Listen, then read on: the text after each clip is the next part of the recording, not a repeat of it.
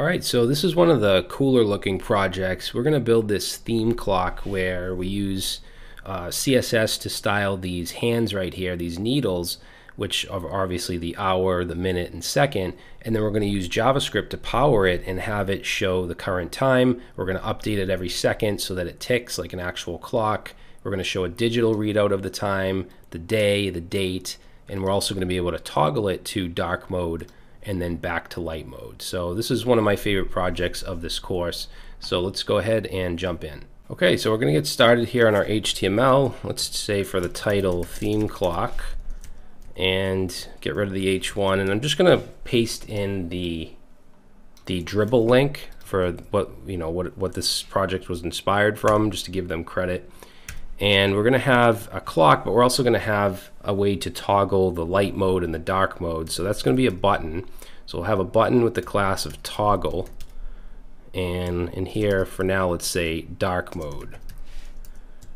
And then underneath that we'll have our clock dash container. And this is going to include the clock itself. So I'm going to have a class of clock. And the clock will have three needles. So let's say class needle and let's create three of those. And then each one will have its have a, a, separate class so we can tell which one is the hour which one is the minute and which one is the second. Okay and then underneath that we just want a div with center point. That's going to be the center of the clock. And then outside of the clock div but still within the container we're going to have a class of time and this is going to come from the JavaScript, but for now I'm just going to hard code 12 o'clock. And then we also want the date, and the format of this is going to be like Monday, Monday, November, and then the day will be in a span. So let's say span with a class of circle. And then here, I'll just put a 2. So Monday, November 2nd. All right, so if I save that, that's what this is going to look like. So let's jump into our style sheet. And I don't know if we'll get the whole, all this. Yeah, we should be able to do all the CSS. Um, so I'm going to bring in, let's see, we're actually going to use a font called Heebo. So let's get from here over to uh, CSS and say CSS question mark family and set that to H-E-E-B-O. So that's going to be our main font. Let's say colon 300. And then we're going to add that down here. Heebo, save. You can see that font, the font has now changed. And then let's see, for the body here, let's display flex. We want it line center. We can get rid of flex direction. And yeah, the rest should be okay. Now, as far as the colors go, I'm actually going to use some custom properties. So I'm going to go up here and let's say on the root scope, I want to have a primary color of black and then a secondary color of white. So basically this is going to be for for regular mode or, or, light mode, I should say. And then if the HTML has a class of dark, because we're actually going to change that within the JavaScript to enable dark mode, then let's actually set the primary color, because you can have different scopes for different variables. So if it's on this primary dark scope, then the primary color, I'm sorry, HTML dark scope, and the primary color will be white. And the primary color is like the hands of the clock and stuff like that. Um, the text. And then the secondary color will be, let's do 333, so real dark gray. And then we'll say HTML dot dark. And we're going to set the background color here to, let's do 111, which is almost black. And then the color, so the text is going to be the primary color. So var dash dash primary color. And it's going to be white because on that scope, the primary color is white. Everywhere else, the primary color will be black. And obviously you don't have to use custom properties, but I figured I'd make it so that we could easily, you know, change these up here rather than going through and changing each one later on. So when we click dark mode and this changes, you know, the background goes dark and the, everything else goes white, I want it to have a transition so that it kind of has a fading effect rather than just, you know, flicking to a different color. So I'm going to add, let's go right here and on HTML, on the HTML element, let's transition, say transition all 0.5 seconds with an ease in effect. Okay, so that way when the background color changes, it'll fade in. Now for the, let's start on the this stuff in here. For the toggle, so the toggle button, let's do background color and we're going to set that to a to our one of our custom properties of primary color which is going to be black by default and then let's set the color to the secondary color. Okay so we'll have secondary color and let's get rid of the border. Let's set a border radius of four pixels. Let's set the um, padding to 8 pixels top and bottom 12 pixels left and right. And what else? Let's position this. So I'm going to position this to be absolute and I want it up at the top so let's say 100 pixels down from the top. And then this has this outline when it's when we focus on it. So let's say toggle when it's in its focus state we want to set the outline to none. Okay, so now let's start on, actually let's give it a cursor, uh, cursor pointer as well. Okay, so let's start on the clock container, which wraps around the, the needles and wraps around the, uh, the center point. So clock dash container and I'm going to display that as a flexbox and then let's set the flex direction from row. Let's set it to a column. And I'm going to justify the content to uh, space let's do space between and then align items to center now we can't really see much within this clock container because everything is just an empty div.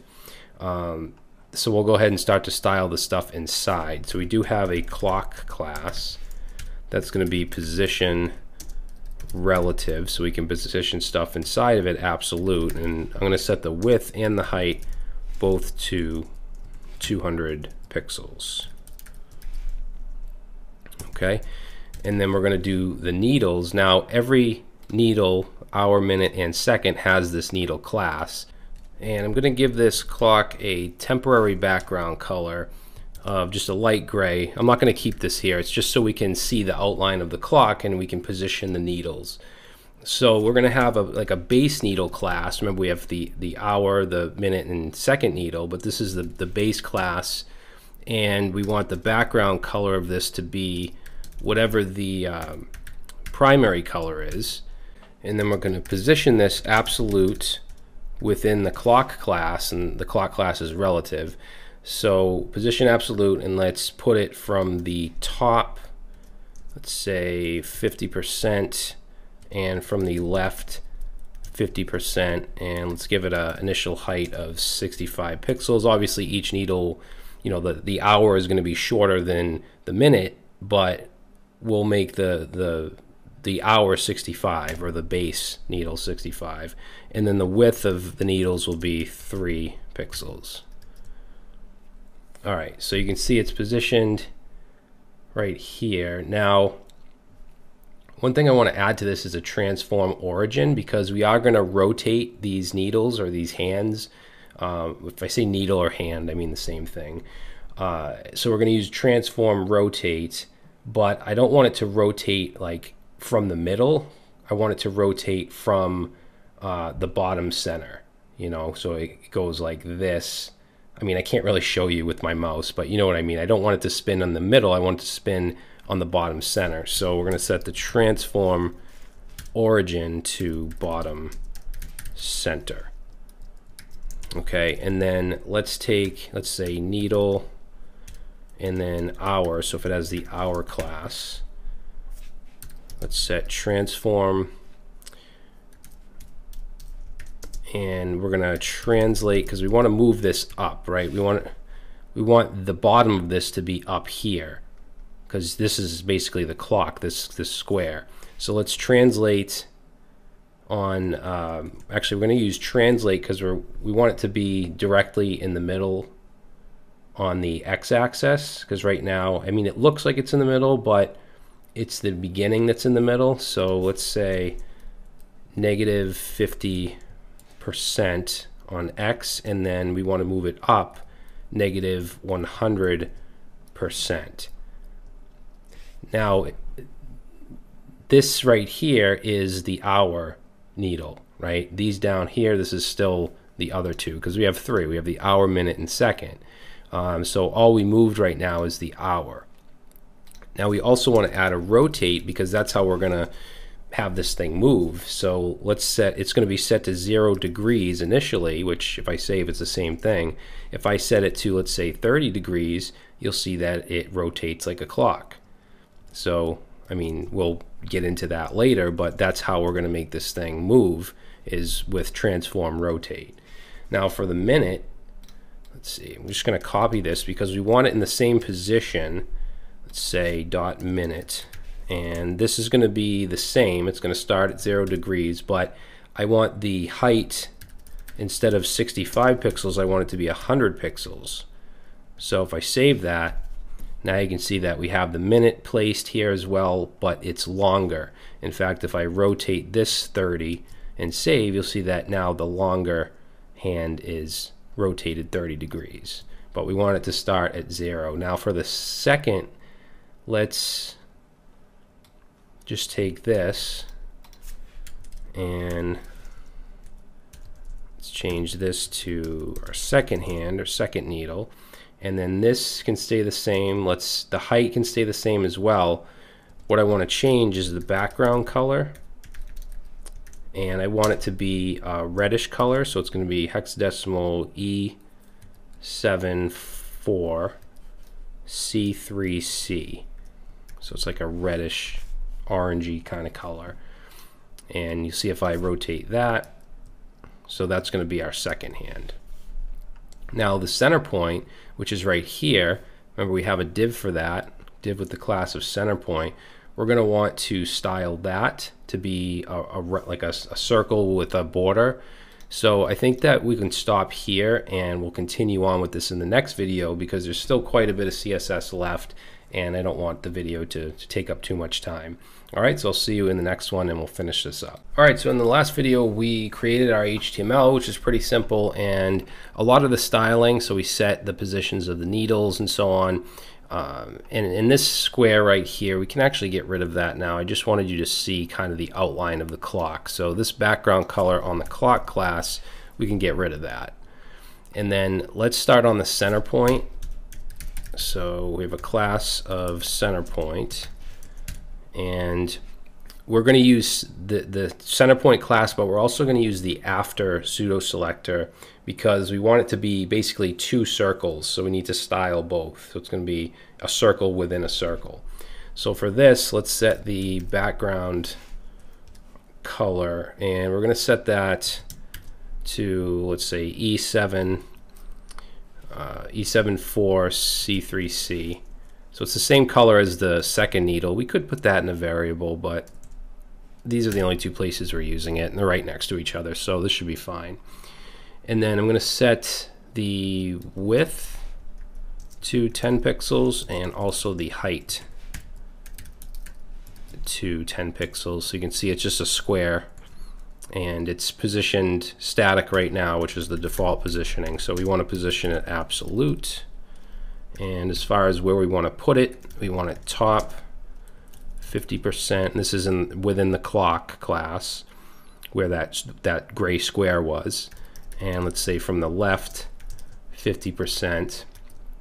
Now that's not directly in the middle so we need to use transform uh, and we want to translate on both axes so let's say translate and then just negative 50 so we want to pull it back negative 50 on x and y. So that'll put it directly in the middle. And we want this to be a circle, so let's set the border radius. We're going to set that to 50%, which will make it a circle. Okay, and then I think, yeah, I think that's all we want to do here. Now, we also want to add a, uh, like a black dot in the middle. So I'm going to copy let's actually just copy this whole thing and say center point and then we're going to use colon colon after and since we're using after we need to add a content property here which will just be an empty string. And I'm going to set the background color to the primary color whatever that is. So let's say var dash dash primary color.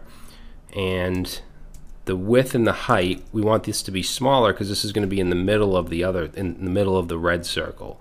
So we'll set that to 5 pixels, position absolute, this, this is all good, that's all the same. So if I save that, now we have a little black dot in the middle of our center point. Okay, now let's style like the text. So we have the class of time. I'm to set the font size here to 60 pixels, so nice and big and then the class of date. So date, I'm to make the color AAA, and then let's set the font size to 14 pixels. Let's set the letter spacing.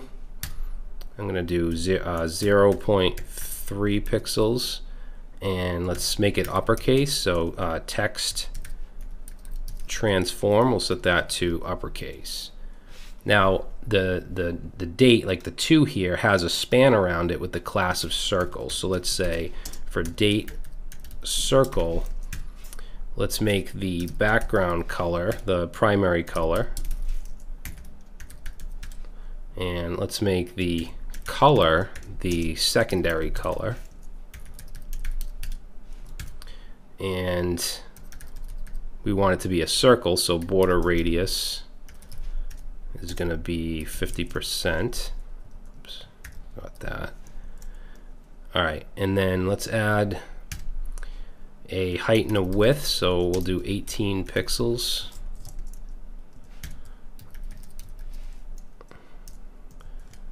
And let's set, um, I'm actually going to display this as inline flex.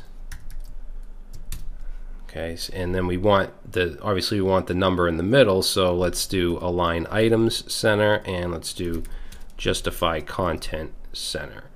So that'll put in the middle, and then I'm just going to change the line height to the same as the font size, 18 pixels. Um, and then that, when it changes, I want to have a transition, so we'll add a uh, transition let's say 0.5 seconds ease in. Okay, so I think that that looks pretty good. Actually, the font size, let's say font size 12 pixels. All right, so now we have basically our UI done here. And in the next video, we want to make this function. Okay, we want to make the clock work.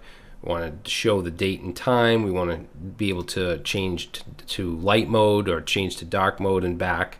So we'll get into all of that in the next video. All right, so now comes the fun part. And well, I guess it depends on who you are. Some people do like the UI, the CSS stuff, but I like to make things actually function. So we're going to jump into the JavaScript and let's bring in everything we need. So we'll say the hour element document dot and I'm going to use query selector and we want to grab the class of hour so it's going to be the needle with the class of hour and let's just copy this down a bunch of times so we want the hour we want the minute and the second and let's change these variable names so this will be uh, minute element and second element and then this is going to be for the time. So that has a class of time. Then we want the date. So date, and we also want the toggle switch or toggle button. So this over here will be the date element, and then this will be the toggle. All right, so that's all the stuff we need to bring in. So we want to create a couple arrays, one for days and one for months. And, uh, and you'll see why in a little bit, but I'm just going to paste these in because there's no reason for you to watch me type this out. It's just two arrays, one called days, Sunday through Saturday, one called months, January through December. So very simple. And before we do anything with the date, the time, or the clock, I want to handle the dark mode, which is going to be pretty simple. Basically, we just need to change the or add add or remove the class of dark to to the HTML element and we also want to change the text of this. Right now we're in regular or light mode so it says dark mode. If we change to dark mode it should then say light mode. So this isn't going to be too hard at all. We just want to take our toggle button. If you guys want to pause the video and figure this out um, I'm sure that uh, a lot of you can do can do this without watching. So I'm going to continue here and just add an event listener. So we want to event listen for a click. And let's pass in a function here with our event object and create a variable here called HTML and then we're just going to use document dot query selector and we're going to select the HTML element. So basically the root element and we're going to check to see if it has the class of dark. So let's say if HTML dot dot and then there's a contains method. If it contains dark, then let's take HTML and let's take our class list object and call the remove method here. We want to remove dark. And let's also set e dot target, which means the element we click on, which is the toggle button. We're going to set uh, the inner HTML. Oops, what am I doing here? Inner HTML. We're going to set that to dark mode because we're in light mode, right? If it contains dark and then we remove it, means we're in light mode, so we want the button to say dark mode. Else, then let's just copy this and instead of remove we want to add the class of dark and we want to change the text here to light mode. All right, so let's go over here and let's click it. And you can see it fades into dark mode. The button is now light. And the text and all that is all the correct color because of you know the primary and secondary colors which we defined up here basically on the root scope it's it's the light mode colors but if the if HTML has a class of dark then it's going to be reversed okay so, and we have that transition because we did add a CSS transition. So that's that's the easy part. Now we want to do the uh, the clock. So we're going to have, let's go under the event listener here, and let's create a function called set time. So first thing I'm going to do is set a variable of time and set it to new date. And just to show you what that gives us. We'll console log time here. I'm going to open up my console. Actually, we have to call this set time, and it gives me this. All right, now with this time variable, I can get specific things like the month, the day, the hours, all that stuff. So I'm going to put those into separate variables. So for the month, we can set, we can get it from time dot, and then there's a get month method that we can call to get that. Let's do the day. So we can do time dot get day. And if you want to console log these to see exactly what it gives you, you can do that. Let's get the hours. So time dot get hours. And then we want the hours for the clock because remember the clock is is 12 is it's 12 hours, right? It's not a 24 hour clock. I mean, you could do that if you want, but I'm going to make it a 12 hour clock. So let's say hours for clock. We're going to set that to whatever the hours is with uh, our modulus. We're going to use the modulus operator from 12. So whatever the remainder is basically. Um, and then for the minutes, let's say const minutes, we can use time dot get minutes. Make sure you put parentheses on these gets. And then seconds, so const seconds equals time dot get seconds. All right, so that will give us a whole bunch of stuff. Now, as far as making the clock work, let's just close that up because that ruins the UI here. And, and of course, you could put the button somewhere else if you want. But basically, we want to take each of the needles, so like the hour element, and we want to set the, on the style, we want to set the transform okay, and set it to some backticks. Now in our CSS, you can see for like the hour, we have transform, translate, negative 50, negative 100, and then the rotate is what we really want to focus on here. Um, the rotate is going to depend on the time. So let's just copy this and we'll just uh, just put that right in there like that. So that if I save, it's not going to look any different. If I change this to, you know, 30 degrees, actually, why isn't that working? Transform, oh, I copied this too. There we go. So you can see that now the hour hand is rotated 30 degrees. So this obviously needs to be dynamic and it needs to pertain to whatever the time is. Now the way we're going to do this is by using a very helpful utility function that I've actually used in quite a few projects in this course, and that's the scale function. So I'm going to paste this in. I'm using an arrow function, and it needs to be above set time where we actually use it. And this is the link to the Stack Overflow page. And this comes in handy because what we need to do is, is map, as it says right here, map a range of numbers to another range of numbers. So we want to map the hours, which is, you know, 12. So it's essentially 0 to 11. We want to map that to 0 to 360 because there's 360 degrees in our clock, in our circle. So for rotate, let's go ahead and pass in our variable syntax and we're going to set, we're going to call scale and the number, so the first argument we want to pass in is going to be hours for clock.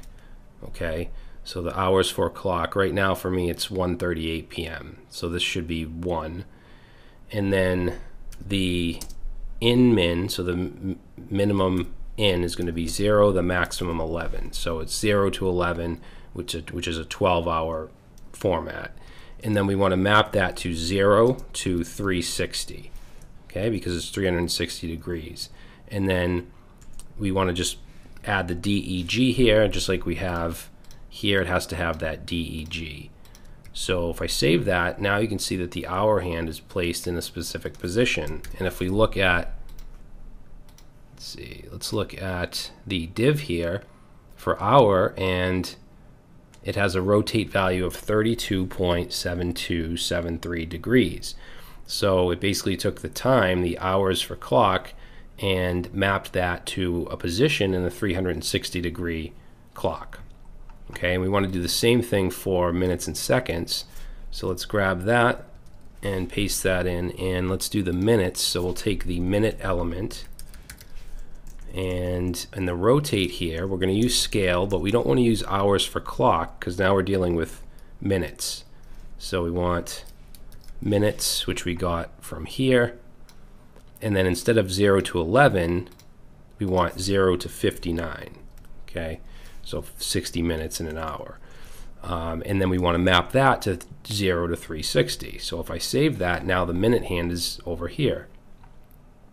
And then the same thing for seconds.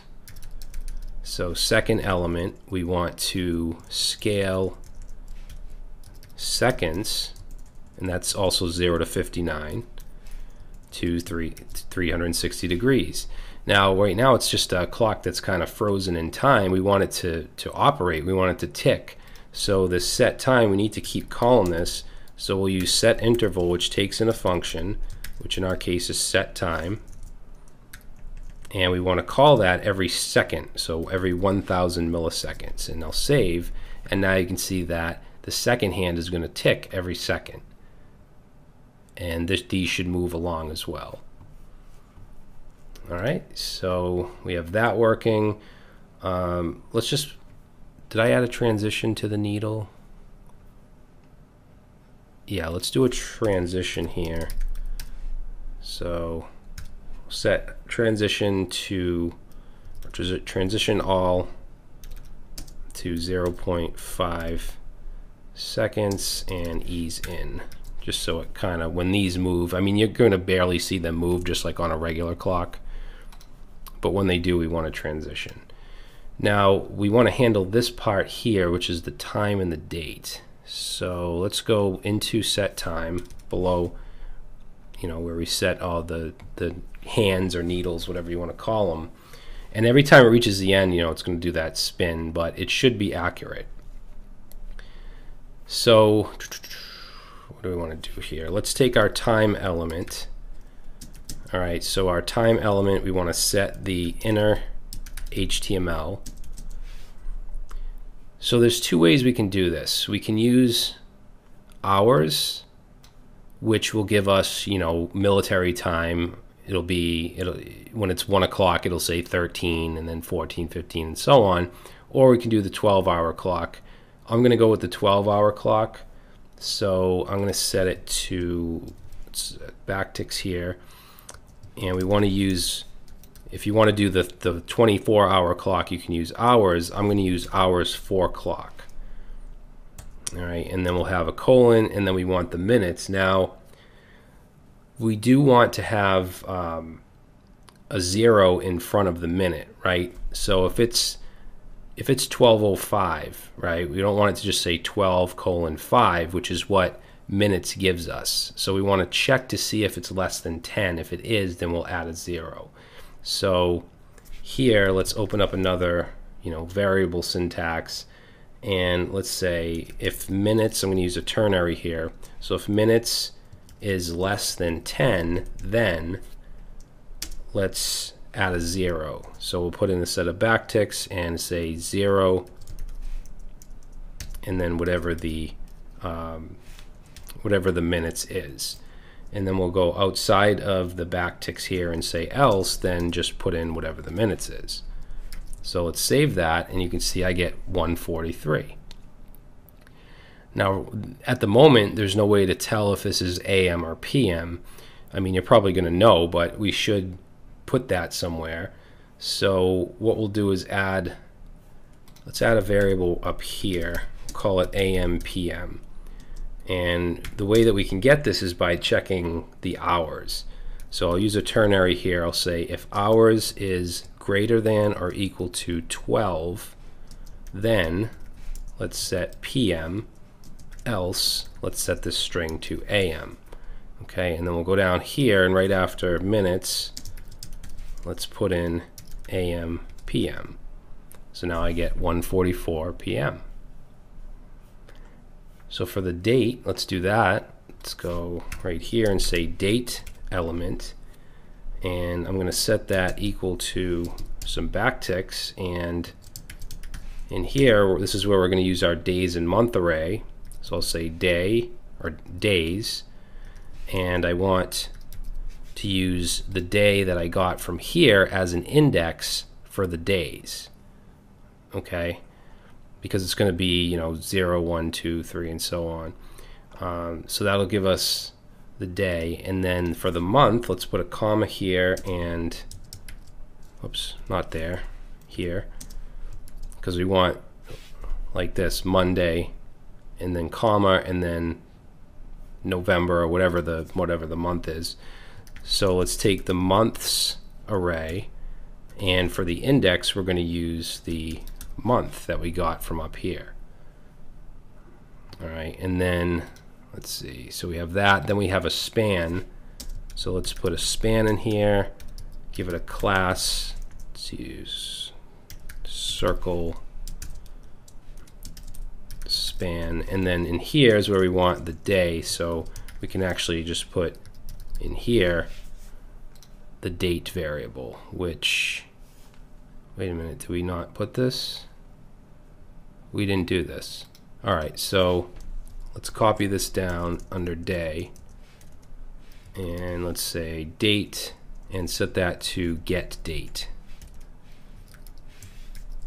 All right. So I saved that and now I should be able to get rid of everything that we have inside this div with the class of date. And if I save, we should get rid of this too. And let's see, that's not showing up. Oh, I, I need to set inner HTML.